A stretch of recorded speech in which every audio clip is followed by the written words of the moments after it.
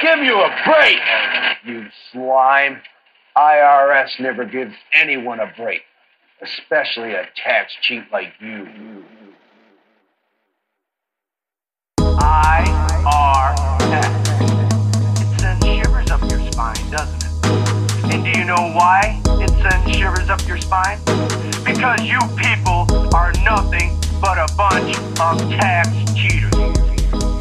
Have something that relates to all these people. You cheat on your taxes too, along with taking bribes under the table and not claiming it. Just like the rest of the tax cheats, you're gonna pay. Here are IRS's reasons why you should pay your taxes. Reason number 86 to supplement the unfair low wages of doctors and lawyers. Here are IRS's reasons why people are such bad cheats. Reason number 56 because the average person's IQ is 80, and that's about all the money they make in a year's time. Here's what could happen if IRS catches you cheating on your taxes.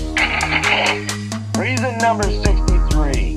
I will make you remove all the staples from all IRS tax return forms. First of all, to be deductible, charitable contributions must be accompanied by signed receipts. Now, I know your heart might be in the right place, but unless your receipts are in the right place too, like here on my desk, then deductions for charitable donations are not allowable. Besides, who are you trying to kid? You don't give the charity out of the goodness of your heart. You do it out of greed. And the only person you're really trying to help by giving donations, you take the deductions, and you pay less tax. Well, I say that's cheating, which, in case you've forgotten, is not allowable either.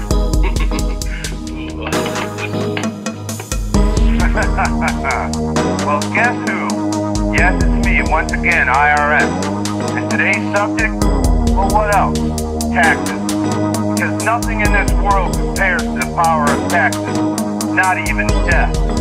Because as I have demonstrated the past few weeks, everyone, and I mean everyone, sooner or later has to pay their taxes.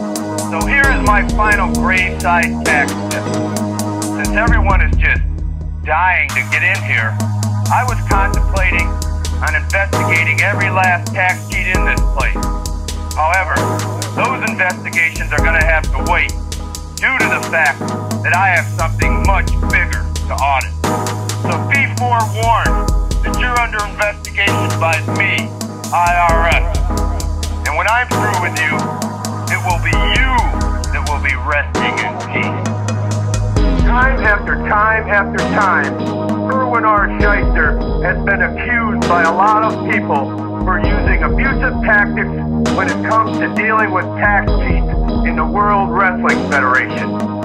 Well, I've got news for a lot of you people out there, and especially you. you. When it comes to dealing with a tax cheat and a cop that's on the take, like yourself, you can rest assured that Irwin R. Schyster, also known as IRS, not only has the power, but has the will to rectify the situation. And you're going to learn you can pay me now and you can pay me later because